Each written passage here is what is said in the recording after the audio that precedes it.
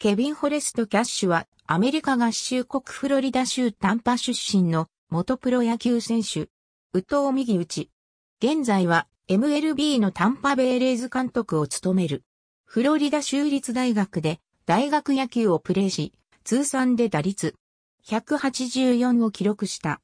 1999年夏にはケープコッドベースボールクラブのファルマスコモドールズでプレーした。1999年にトロントブルージェイズと契約してプロ入り。2002年から2004年にかけてメジャーでプレーし、101試合に出場。2005年はタンパベイデビルレーズで過ごした。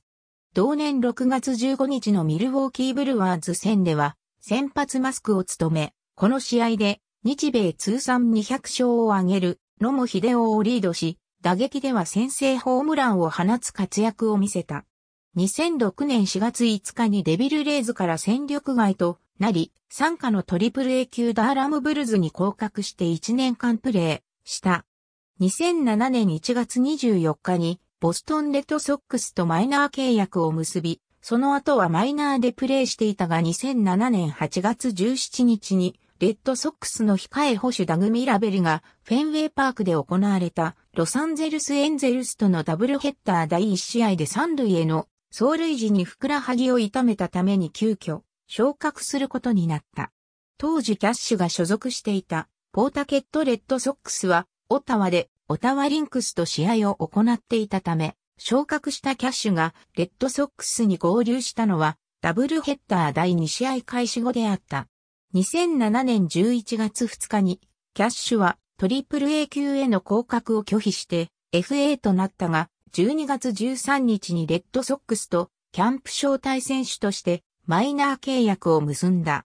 その後3月13日にレッドソックスがダグミラベルを解雇したことにより、2008年3月25日にキャッシュはナックルボーラーのティム・ウェイクフィールド専属保守としてメジャー契約を結んだ。キャッシュは背番号36をつけていたが、ポールバードが移籍した際に背番号を譲る形で30番に変更した。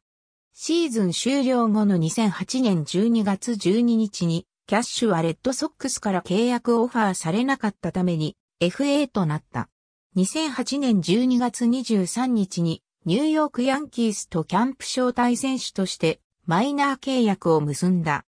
ヤンキース時代2009年は開幕をトリプル A 級スクラントン・ウィルクスバリヤンキースで迎えた。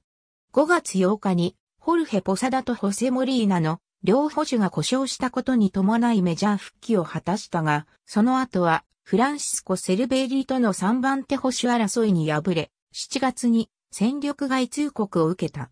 9月5日に現役引退を表明した。しかし、後に撤回した。2010年1月22日にヒューストンアストロズとマイナー契約を結び、5月5日にメジャーに昇格した。2010年7月1日にビクター・マルティネスとジェイソン・バリテックの主力保守が骨折したチーム事情からアンヘル・サンチェスとのトレードで古巣のレッドソックスに復帰することとなった。オフに FA となった。2010年11月11日にテキサスレンジャーズとマイナー契約を結んだ。2011年は、参加のトリプル A 級ラウンドロックエクスプレスでプレーした。2012年1月8日に現役引退を表明した。この年は、フルスブルージェイズのスカウトを務めた。2013年より、クリーブランドインディアンスのブルペンコーチを務める。自身の37回目の誕生日となった2014年12月6日にタンパベイレーズの新監督に就任したことが発表された。2015年4月17日に初退場を記録した。2018年にリリーフ投手を先発させるオープナーを MLB で初めて本格採用し、球界のトレンドになった。2018年オフに2024年までの契約延長に合意した。2019年にはチームを6年ぶりのポストシーズン選出に導いた。現役時代は、補修用キャップを日差しが前に来るように被るのが特徴的な選手であった。最優秀監督賞、1回。ありがとうございます。